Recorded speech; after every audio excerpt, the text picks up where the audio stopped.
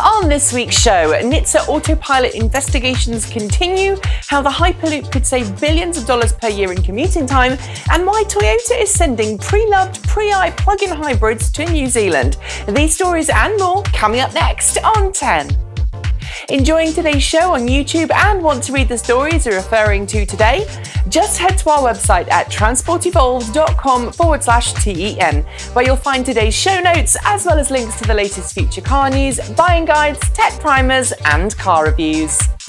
It's Friday, July 8th, 2016. I'm Nikki Gordon Bloomfield, and since last week's show, we've got a bunch of new Patreon patrons who've signed up to keep us independent, impartial, and ad free.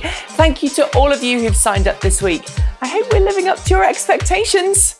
We're starting today's show with a little update on last week's headline story involving the high speed fatal crash between a Tesla Model S electric car being driven in autopilot mode and a tractor trailer unit. Since last week's show, we've been able to fill in some major gaps in the story, including the name of the deceased, Joshua Brown, a well known YouTuber and advocate of the semi autonomous driving technology. According to investigators, both a laptop and a portable DVD player were found in the car after the crash, as well as a laptop stand. Eyewitnesses claim a DVD was playing in the car after the accident, although investigators have yet to confirm this report at the current time. We can also confirm that the accident occurred in early May, and the National Highway Traffic Safety Administration were notified immediately following the accident, meaning its investigation has been going on now for more than two months. NHTSA is also undertaking a second investigation into autopilot operation after a Tesla Model X rolled over last weekend while allegedly being driven in autopilot mode. Unusually, Tesla is unable to confirm if the car was being operated in autopilot mode, as the rollover incident actually appears to have broken the car's usually always on internet connection to the Tesla mothership. So we'll have to wait for the formal investigation to end before we know what really happened. As for autopilot, here at Transport Evolved, we can't help wonder what the damage to both Tesla and autonomous cars in general will be, given the fact that it's irresponsible driver use, not the technology itself, which seems to be at fault. Sadly, we're not sure if the right questions now are being asked in the light of both crashes, and we're keen to see the semi autonomous cars get mandated systems to make sure the driver is still at least paying attention. Do you agree? Let us know in the comments below.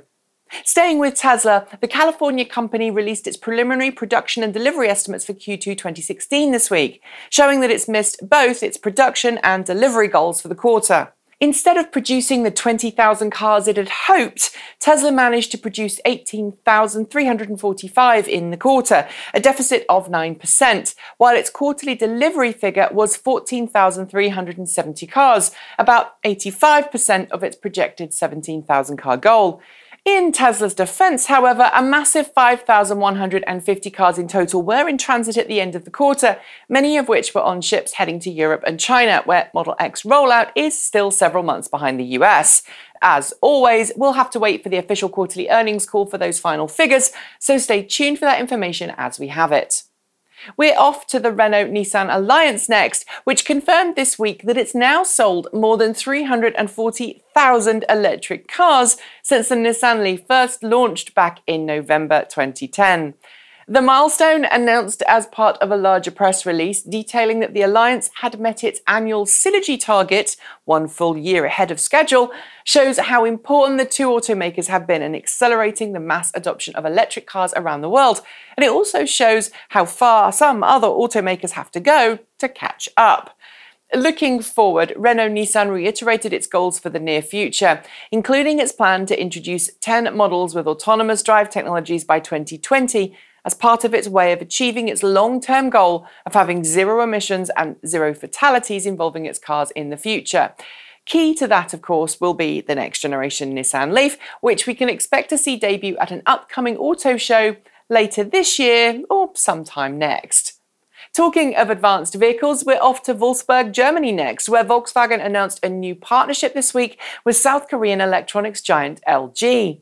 Following on from the Volkswagen e-Golf Touch and Volkswagen Bud E concept cars that we saw earlier this year at CES 2016, the troubled automaker said that it's going to be working with LG Electronics on developing an intuitive system that will enable connected cars and smart homes to integrate with one another, much like the system that BMW and Samsung SmartThings already announced at the start of the year.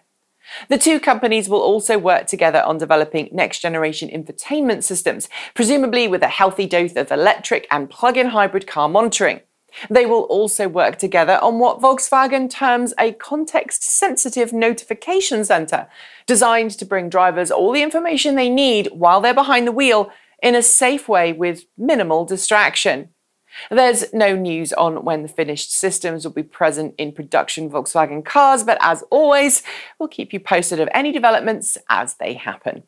Staying with advanced vehicle technology, BMW, Intel, and Mobileye announced a brand new partnership last Friday, which will see the three firms work together on bringing BMW branded autonomous vehicles and future mobility concepts to markets. Inspired in part by the celebrations surrounding BMW's centenary and the BMW Vision Next 100 concept cars, BMW said it will bring fully autonomous cars to series production by 2021 in the form of a car it's currently calling the BMW iNext. That vehicle, based on a brand new platform designed with autonomous vehicle technologies in mind, will be then used as a basis for BMW to use as a way of bringing autonomous vehicle technology to the rest of its fleet. It's worth noting here, of course, that Mobileye is currently the technology behind Tesla's autopilot systems, although we have to also note that unlike Tesla's current system, BMW wants to focus more on level 3 and level 4 autonomous vehicles, where drivers can ultimately hand over complete control of their car to its onboard computer. And while that goal is still a few years away from series production, BMW says we'll see the first demonstration of its new partnership with the two companies next year in what it calls a highly automated driving, or HAD, prototype. We'll be watching closely to see just what that turns out to be. Changing gears now, we're off to the UK next, where utility company Ecotricity made waves by announcing this week that its nationwide electric highway is going to switch from providing free electric car quick charging sessions to charging non Ecotricity customers £5 for a 20 minute charging session.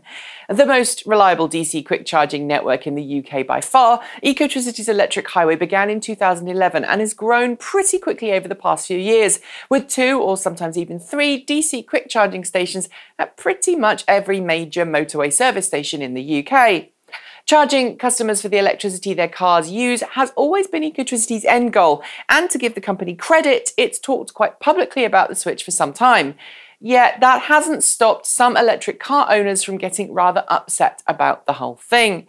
But here's the point it's worth remembering here that while charging on the electric highway multiple times every day is going to make an electric car more expensive to operate than a comparable internal combustion vehicle, most electric car drivers use rapid charging networks away from home a few times a month.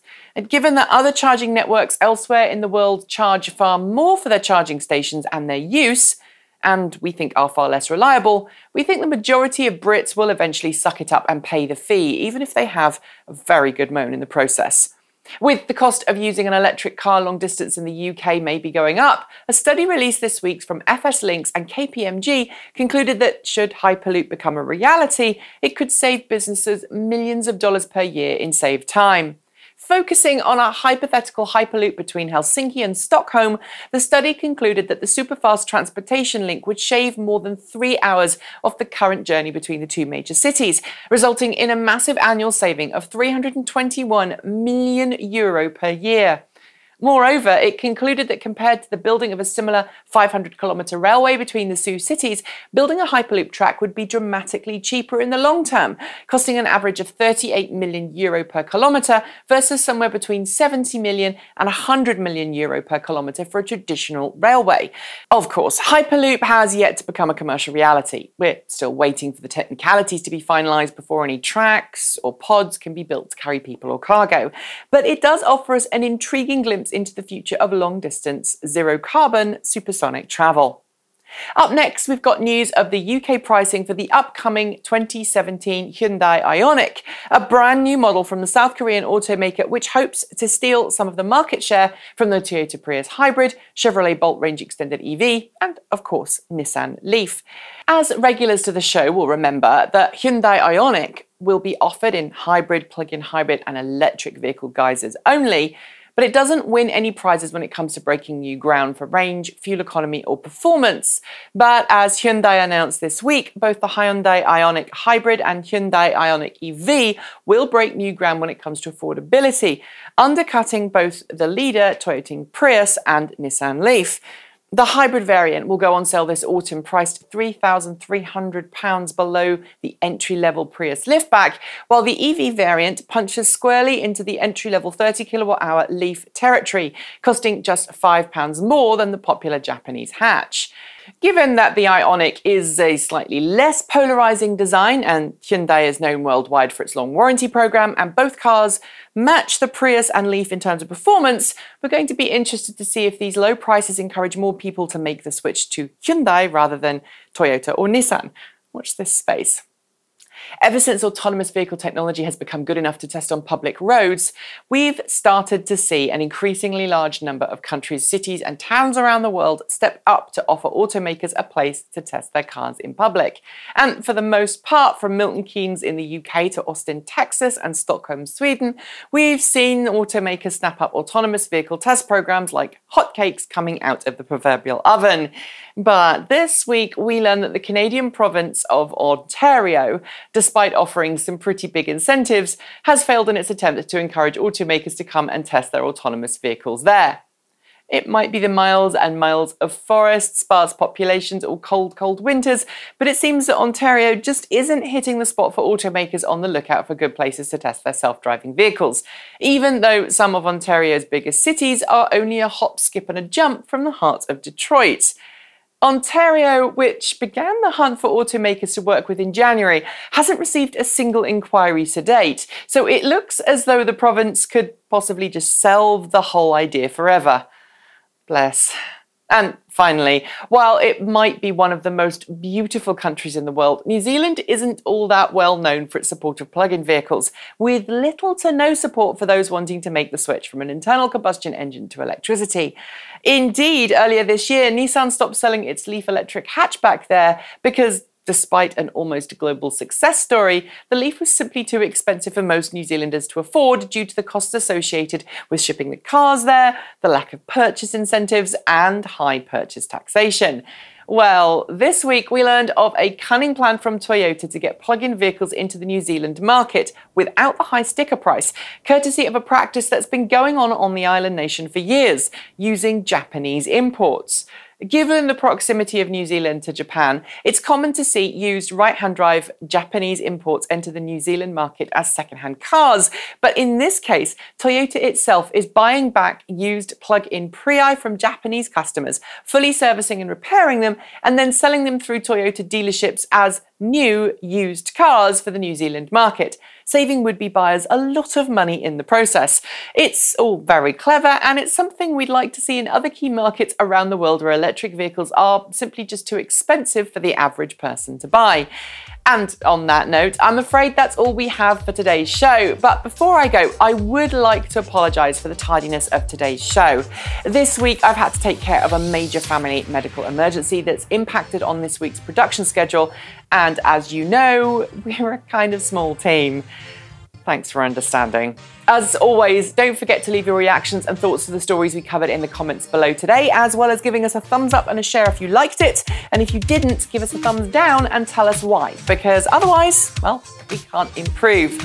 I'll be back next week at the usual time with another episode of TEN. But in the meantime, you can find all the news that's fit to print at our website at transportevolved.com. Catch up with us on Twitter at transportevolve or check out our latest shows on our usual YouTube channel.